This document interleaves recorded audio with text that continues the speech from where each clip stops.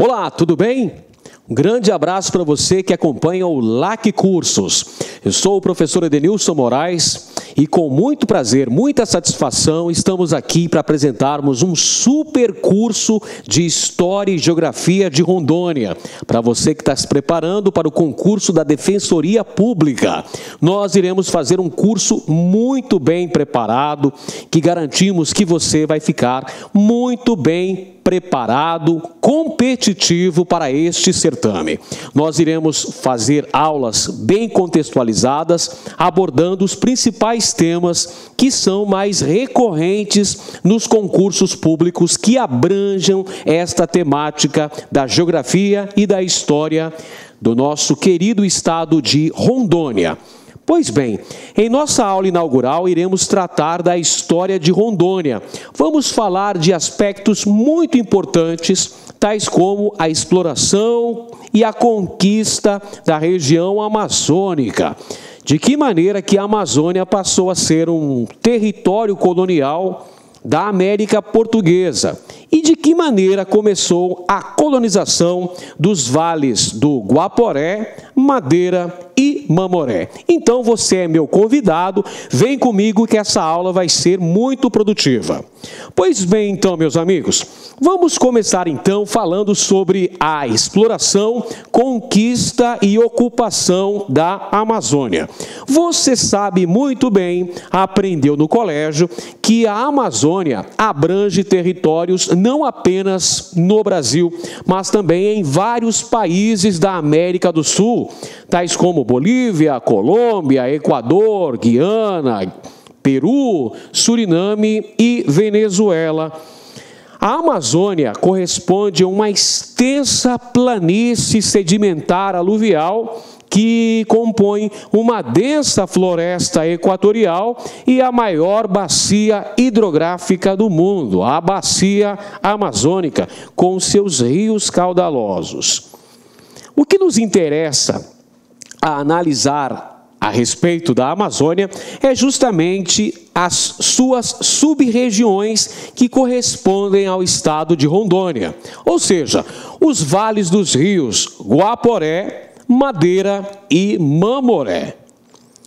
Bem, no século XVI, no início da colonização da América, a Amazônia era uma região que suscitava várias interpretações por parte do imaginário europeu. O imaginário europeu acreditava que na região amazônica vivessem seres mitológicos, Além disso, acreditava-se que a Amazônia era uma região com uma grande riqueza. Muitos europeus acreditavam poder encontrar na região amazônica o Eldorado. Então, muitos exploradores de várias nacionalidades tentaram procurar inúmeras riquezas existentes na floresta amazônica, na densa floresta equatorial. Pois bem, Quais seriam então as motivações para a conquista deste território desconhecido? A busca de riquezas, riquezas minerais ou riquezas vegetais, e a consolidação de uma base de produção mercantilista. Veja bem, entre os séculos XV e XVIII, vigorou na Europa o chamado mercantilismo econômico. O mercantilismo era um conjunto de práticas, era uma doutrina econômica baseada na intervenção do Estado na economia, na adoção de práticas monopolistas, protecionistas, visando garantir uma balança de comércio favorável. Pois bem, então era interesse dessas metrópoles europeias encontrar riquezas que proporcionassem um grande entesouramento real, que alimentassem sua política mercantilista. Portanto, a conquista da América poderia proporcionar um acúmulo primitivo de capitais para essas metrópoles, principalmente Espanha e Portugal, pois você sabe muito bem que são esses dois países ibéricos que participaram participaram do chamado Tratado de Tordesilhas, que dividiu as terras do Novo Mundo entre si. Uma parte para Portugal, a parte leste, e a outra para a Espanha, evidentemente a parte oeste. A Amazônia, então, nesse contexto, do início do século XVI, ela vai ser gradativamente conquistada, porque poderia proporcionar um acúmulo de riquezas, tanto riquezas minerais quanto riquezas vegetais. Ao longo dos séculos 16 e 17, a Amazônia vai sofrer a ação de diversos exploradores de vários países, ou seja, de várias nacionalidades. Ao final do século 16, ocorrem tentativas da montagem de núcleos de povoamento e de colonização por parte daqueles países que não haviam participado do Tratado de Tordesilhas, países que haviam saído com um certo atraso na expansão marítima e comercial. Eu estou falando, evidentemente, de ingleses, franceses e holandeses eles também estiveram na região amazônica, tentaram implantar núcleos de povoamento nessa região ao final do século XVI. Vamos então analisar as primeiras expedições europeias na região amazônica. Temos, por exemplo, Vicente Pinzon, que em 1500 vasculhou a região amazônica e acabou descobrindo a foz do rio Amazonas.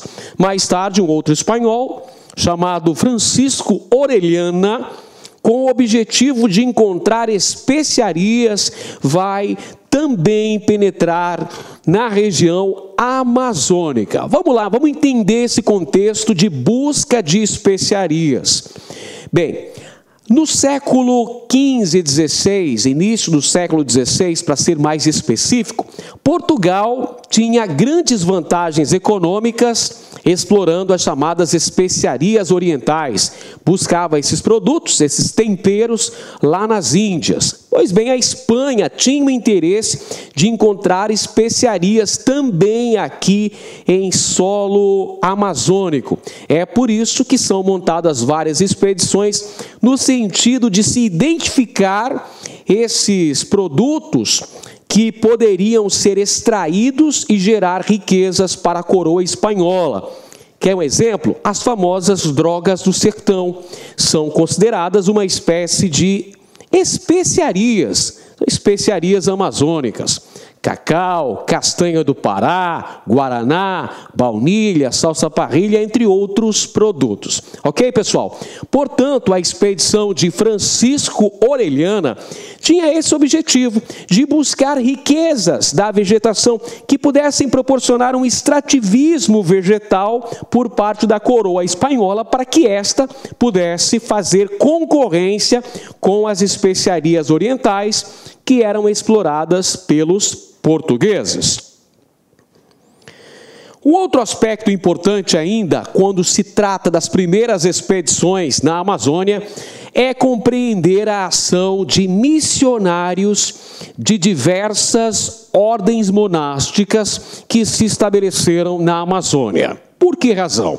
Com o objetivo de catequizar os povos indígenas, devido à grande quantidade de índios na região amazônica, nós tivemos a ação de diversos grupos de missionários nesta região, com o objetivo específico de desenvolver a catequese indígena.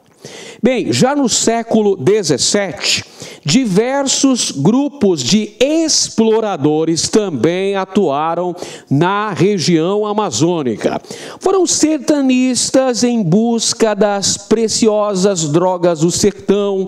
Foram expedições oficiais, expedições financiadas pela metrópole portuguesa, que tinham o objetivo de defender esta área, fundando aí fortificações militares, estabelecendo fortes fortalezas presídios, com a intenção de promover uma maior segurança para a colonização portuguesa na América. Nós tivemos também na região amazônica a ação de expedicionários particulares.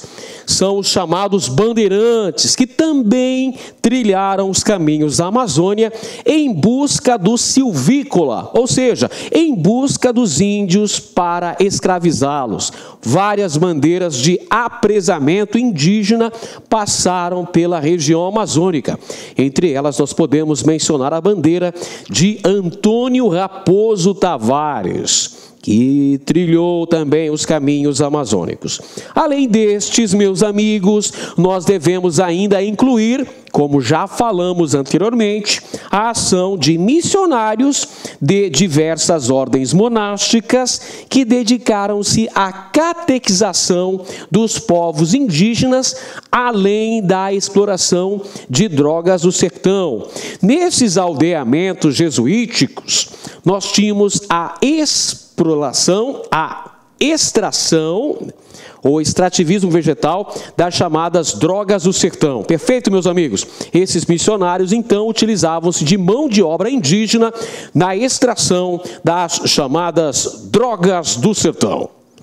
E com resultado, e como resultado desse processo, de exploração promovido por diversas frentes, sertanistas, expedições oficiais patrocinadas pela coroa portuguesa, expedições particulares, as chamadas bandeiras, e a ação de missionários voltados para a catequese indígena, nós tivemos como resultados principais a ampliação do território colonial. Veja bem, essa área da Amazônia, que de acordo com o Tratado de Tordesilhas, não pertencia aos domínios de Portugal, gradativamente foi inserida em consequência direta dessa expansão expansão territorial, ou seja, a ação desses diversos grupos garantiram a conquista, a exploração econômica do território da Amazônia por parte dos portugueses.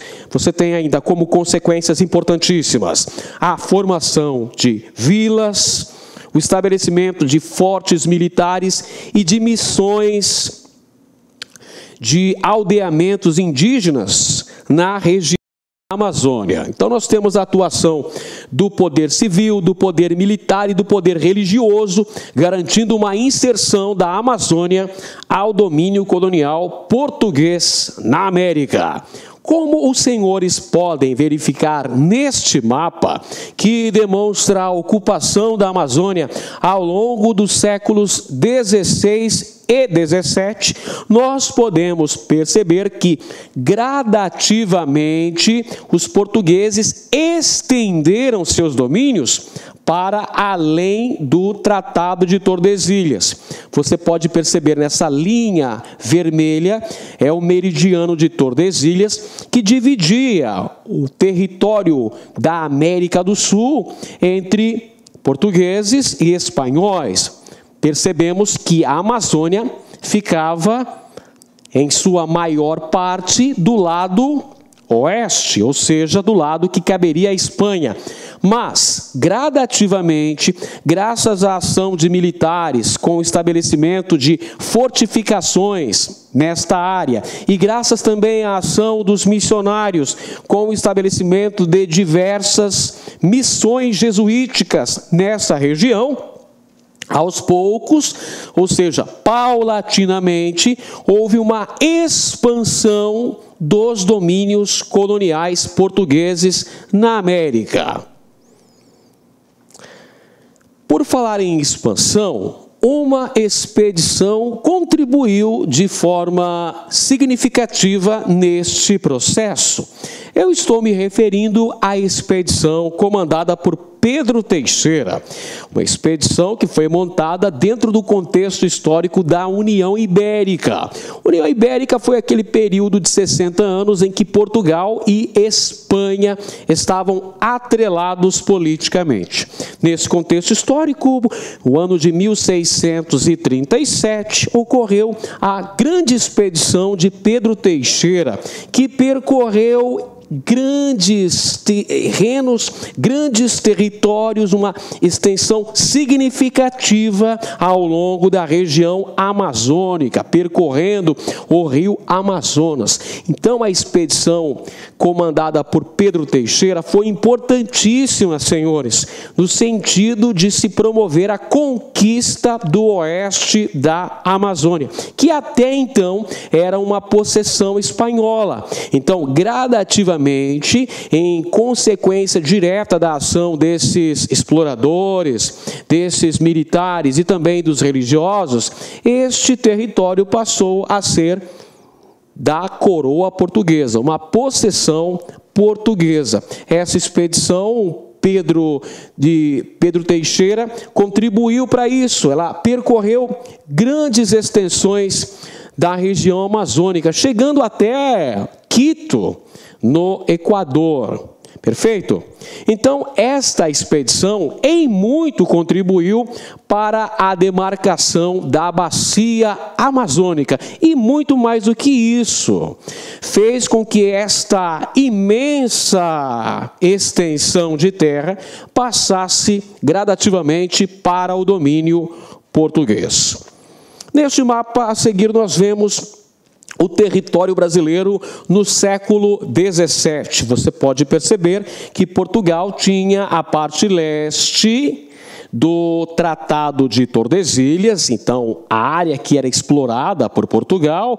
Você tem no litoral onde se desenvolvia principalmente o cultivo de cana-de-açúcar, mais para o interior estava a pecuária e avançando para além dos limites de Tordesilhas, tínhamos a região amazônica, onde se desenvolveu neste contexto histórico a exploração das chamadas drogas do sertão esses produtos oriundos da floresta equatorial amazônica, guaraná, baunilha, o cacau, que era o principal produto destaque enquanto droga do sertão.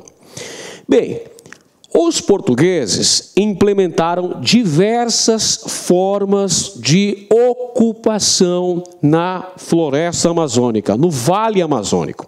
Nós tivemos, por exemplo, a ação missionária, o estabelecimento de várias ordens religiosas que fundaram aldeamentos indígenas que promoveram a catequese do gentio, ou seja, que promoveram a cristianização de vários povos indígenas. E nesses aldeamentos, como você muito bem sabe, os indígenas trabalhavam para esses padres, para esses religiosos, esses missionários.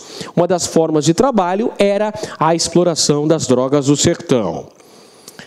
Nesse contexto, nós temos a introdução do elemento indígena na sociedade colonial. Uma forma de introdução do indígena dentro do contexto da sociedade colonial da América Portuguesa era através da catequização. E esta acontecia através do chamado descimento, ou seja, o convencimento missionário e aldeamento dos povos indígenas. Portanto, essa inserção do indígena dentro da sociedade colonial da América Portuguesa se dava basicamente pelo convencimento. Então, os portugueses tentavam incluir o indígena dentro da sociedade colonial, cooptando o silvícola, ou seja, tentando trazer o indígena como um aliado da colonização. É claro que isso não funcionava todas as vezes, porque haviam nações indígenas que não aceitavam esse domínio, que resistiam a esse avanço colonizador. Nesses casos, a coroa portuguesa autorizava a denominada guerra justa. E o que será que era a guerra justa? Olha só, a guerra justa era um instrumento da colonização portuguesa. Era uma parte da legislação que autorizava a escravização e até mesmo o extermínio de povos indígenas que se demonstrassem refratários ao avanço da colonização, que não aceitassem a colonização portuguesa. Aqueles povos indígenas que se tornassem um obstáculo ao avanço da colonização poderiam ser escravizados ou até mesmo exterminados. Esta era a chamada guerra justa. É claro que justa dentro da ótica da colonização. Afinal de contas, quem estava invadindo territórios eram os colonizadores portugueses. Mas eles precisavam garantir a posse, garantir a ocupação dessa região amazônica. Então, são duas alternativas a serem implementadas. A primeira tentar o convencimento da inclusão do indígena na sociedade colonial como aliado da colonização, fazendo com que o índio perdesse parte de sua cultura, perdesse sua identidade, trocasse de religião, adotasse novos hábitos, hábitos cristãos, hábitos ditos civilizados, claro que civilizados dentro de uma ótica europeia. E outra alternativa era através das guerras. Se os povos indígenas não aceitassem o avanço da colonização, nesse caso poderiam ser escravizados ou até mesmo passar por processo de genocídio, de extermínio. Ok, meus amigos? Então você tem essas duas alternativas: a formação de aldeamentos indígenas, comandados por religiosos de várias ordens monásticas, como por exemplo os padres jesuítas, e a outra forma é através da chamada guerra justa. O que é importante é que nesse contexto histórico nós tivemos a instalação de inúmeras missões jesuíticas, missões religiosas ao longo da Amazônia. No Vale Amazônico surgiram vários aldeamentos indígenas comandados por essas ordens religiosas. Então você tem uma gradativa inserção da região amazônica ao território colonial da América Portuguesa. Outro aspecto muito relativo, muito significativo, muito importante e que é recorrente nos concursos públicos sobre história de Rondônia é analisar o chamado período pombalino, a administração pombalina, que evidentemente tem a ver com Sebastião José Carvalho e Melo, o famoso Marquês de Pombal. Marquês de Pombal é um representante do despotismo esclarecido em Portugal. Ele era um ministro plenipotenciário, um ministro, o primeiro ministro do rei Dom José I de Portugal, no período entre 1750 e 1770 77, o Marquês de Pombal promoveu a adoção de várias medidas que visavam reformar a política e a economia em Portugal. O grande objetivo do Marquês de Pombal era reduzir a dependência de Portugal em relação à Inglaterra. Ao longo do século XVIII, Portugal acabou constituindo uma grande dependência em relação à Inglaterra. Isso pode ser ilustrado pelos tratados que foram assinados entre Portugal e Inglaterra, tratados estes, meus amigos, que causaram sérios prejuízos para a economia portuguesa. Podemos mencionar o Tratado de Mitwin de 1703, o famoso Tratado de Panos e Vinhos, em que Portugal exportava para a Inglaterra a sua produção vinícola e a Inglaterra exportava para Portugal a sua produção têxtil. Esse tratado foi prejudicial às finanças lusitanas porque causou um grande endividamento.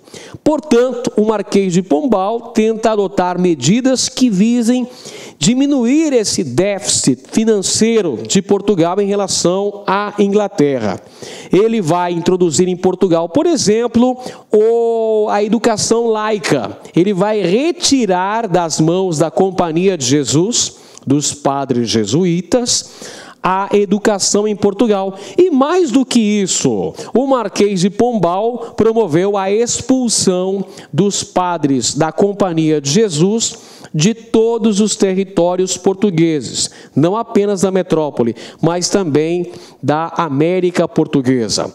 Essa medida visava diminuir a influência que esta poderosa companhia tinha na metrópole portuguesa, porque, como o Marquês de Pombal dizia, a Companhia de Jesus era um Estado dentro do próprio Olá, meus amigos! Olá, minhas amigas! Tá gostando da aula do professor Edenilson de Moraes? Então convido você a acessar o nosso site, o laconcurso.com.br, porque o professor Edenilson está se especializando em História Regional. Já fez um grande trabalho em História Regional de Goiás, de Mato Grosso e agora chegou a hora de Rondônia. Este curso completo do professor Edenilson por apenas 60 reais, 60 dias de acesso, ou seja, um real por dia. Pode ter certeza certeza que aqui no lá Concursos é o melhor custo-benefício da internet. Tá certo, meus amigos? O convite está feito aí. Espero vocês. Forte abraço. Tchau, tchau.